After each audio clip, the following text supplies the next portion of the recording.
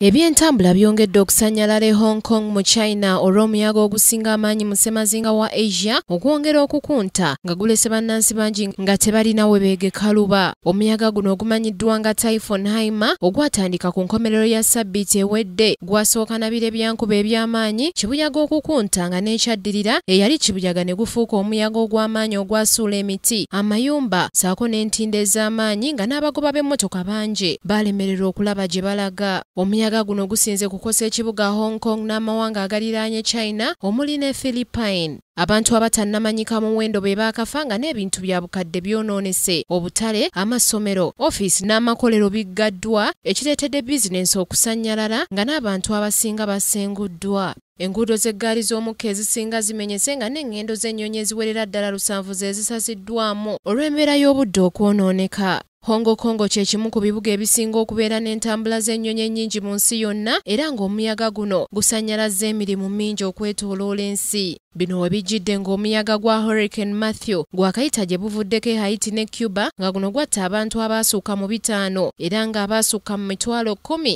bo baalekebwa tebalina kantu This is Kingdom TV.